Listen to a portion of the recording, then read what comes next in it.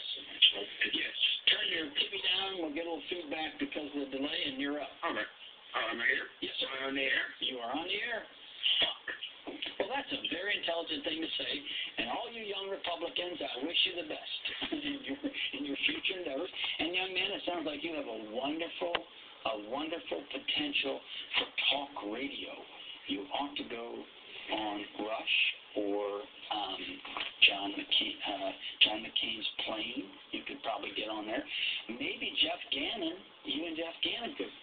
Hey, possibility. Jeff's out there. You know,